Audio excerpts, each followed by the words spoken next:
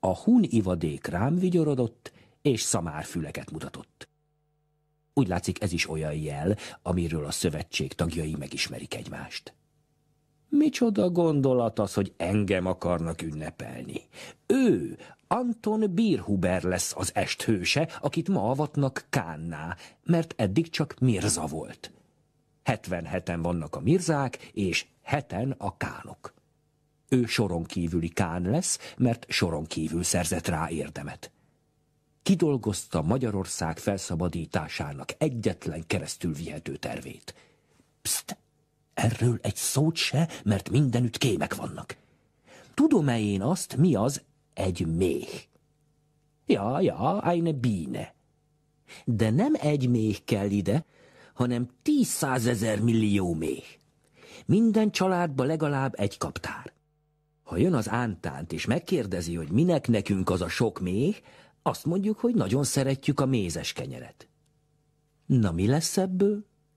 Az lesz, hogy mikor minden családba be van vezetve a kaptár, akkor hajrá, neki a rácnak, neki a csenek, neki az olának a méhekkel. A méh az szurony, az repülőgép, az minden.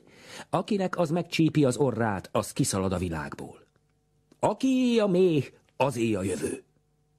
És nem kell hozzá más, csak egy energikus szakember, egy lelkes Bienenvater. Az csak megérdemli azt a rongyos kis napi mi? Majd estére a többi függő kérdéssel együtt megtárgyalják azt a kánok, csak én is ott legyek. Legkésőbb nyolcra, mert akkor lesz a pajzsra emelés. Holnap ilyenkor pedig már a Dunatisza közén szervezi Anton Bírhuber a nemzet megméhesítését. És mi lesz a lakással? kérdeztem dobogó szívvel. Belátom, cudarság volt ilyen csiribiri dologra gondolni, mikor a hazám jövőjéről volt szó, de hát esendő az ember. Ja, azt ad még nem tudok, vont vállat a Bienenfáter. Arról kell kontoskatja motyor kormány. Én ezt a lakást értettem. Ezted, köpött a küszöbre a soron kívüli kán. Ezted én hagyok néked, mint tehetemnek. Egy bátriód meldó a bártfogásra. De bizony lettem volna én ezért akár akkora patrióta, mint Tonuzoba. Egy valóságos szobáért, amelynek igazi ajtaja van, és azt igazi kilincsel lehet csukni, nyitni. Az ablakon reggel besüt a nap, és este betartja a lámpást a hold.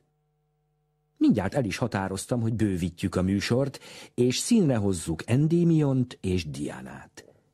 Csak hogy olyan Endémiont, akit fel lehet ébreszteni, és olyan Diánát, aki ráakasztja az övét a hold szarvára. Holtig hálás leszek, testvér. De van itt még egy megoldandó jogi kérdés. Hát Netumák hova menjen? Méd Nedumag, az nem érzi, ami motor fájdulmunk. Az van egy spion a csehekdől. Gel edet kidobni. No, a netumák kidobásához sok mirza kell, gondoltam magamban. Majd szót értünk velük estére.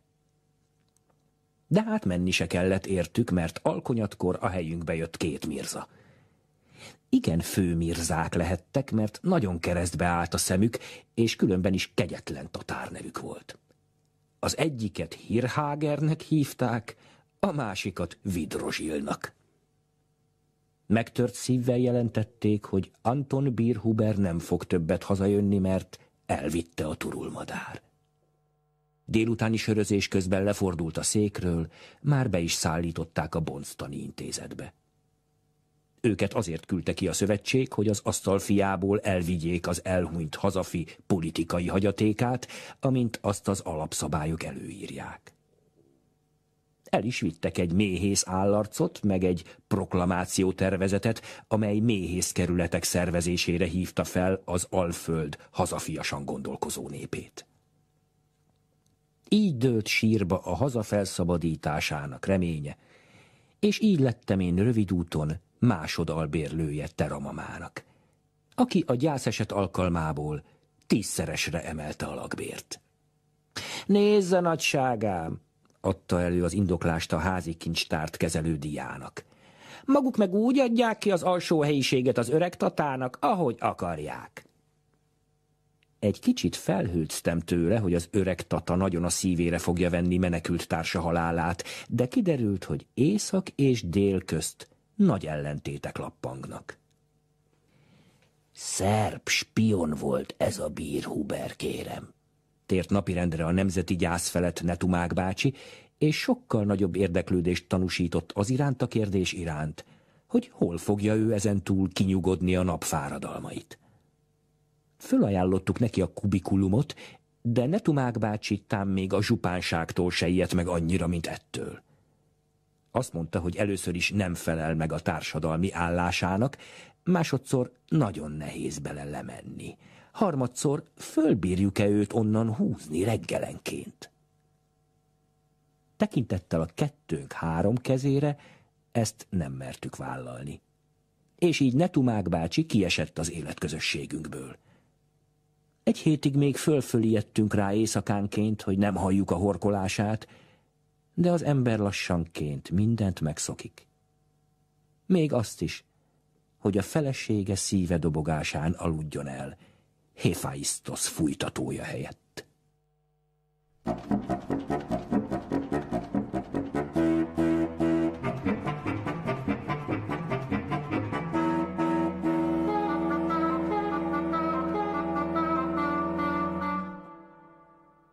Pár hónap alatt gyönyörűen elbokrosodott a plegykafű az ablakunkban, és éppen annak a szárazát csipkedtem ki, mikor Dia egyszerre csak elneveti magát krumpli tisztítás közben. Hát te, fordulok oda hozzá, tán az angyalodat látod? Nem is képzeled, mit álmodtam az éjszaka. Lermontov térdelt előttem a Bakcsiszerái forrásnál. A költők akkor is veszélyes vetétársak, ha száz évvel ezelőtt meghaltak. Ajánlatosnak éreztem odaülni az asszony mellé a kis székre. Az ám, de... Ej, nem kötök én neked mindent az orrodra? Egész bátran. Nem vagyok féltékeny mindenféle zöldfülű muszkakadétra.